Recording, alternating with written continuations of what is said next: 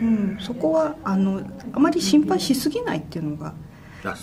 れから先のこと、先のことを心配しすぎない。もちろんねあの計画を立てるってことは大事ですしただ余計な心配をしなくてもものすごく慎重な人なんでいろいろなことに気が回るのかもしれないんですけれども、うん心配しすぎなくてもいいんじゃないかな。ここに結構晩年にも大きい海運船が立ってるのであの何か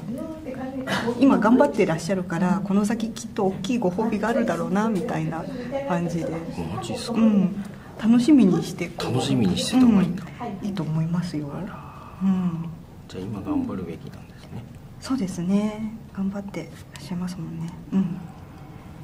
そうそうそう